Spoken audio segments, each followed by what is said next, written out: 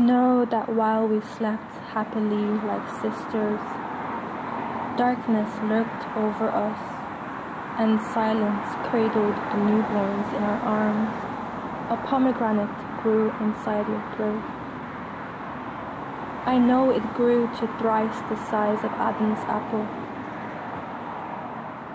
and the hard swell of it bruised the tenderness of your narrow throat.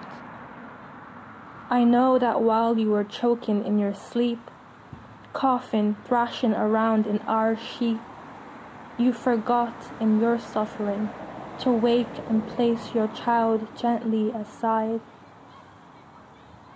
I know you could not have foreseen your body splayed atop his, your weight crushing his head, lungs, belly, until he was cold and blue.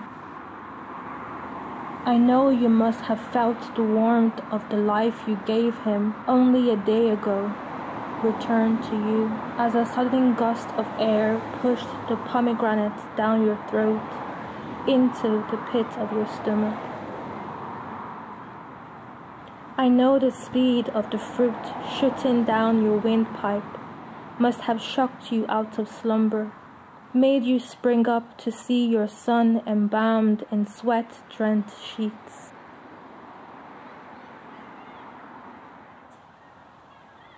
I know fear must have made your blood curdle, enough to take my son from my arms while I slept, and put him by your breast suckle, barely three days old.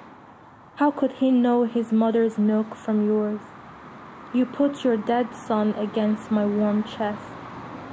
When morning arrived to chase the darkness from our bedside, I got up to nurse my son. I know the discomfort of growing unknown fruit, of new blood, skin and bones lashing out at me, needing the swollen tenderness of my womb. I know time will put a strange honey in the bitterness. We both share the memory. Barely four days have passed since a sudden urge to taste new fruit overcame me. I know yesterday you too were crippled by your own need to push hard and let the child rip you open. I midwifed, reaching between your legs to pull your child out of the dark.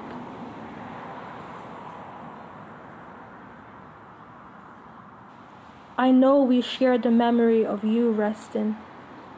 A cold clot cooling your fever, while I scrubbed blood, mucus, and sweat stains out of the sheets. I heated water and took a wet brush to the floors. I know the tremble in your voice when you say, No, the living one is my son, the dead one is yours. Your mind, like milk left out in the sun, has lost its form. I know my child, his lips sticky as raw honey, melting in the sun. Each morning when I press my face to his, his nose kisses mine, each eye a drop of dark blue ink in a bowl of fresh milk.